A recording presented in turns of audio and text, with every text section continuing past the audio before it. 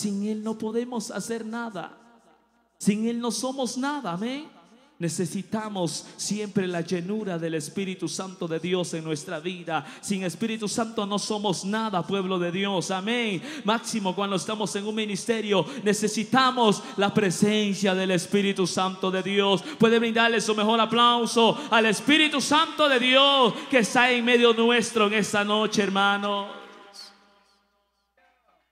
Hay un precioso canto, dice, ¿con qué podré pagarte, Señor, el sacrificio que hiciste por mis culpas? ¿Qué tal si se pone de pie un momento, por favor? Y vamos a bendecir el nombre del Señor en esta noche.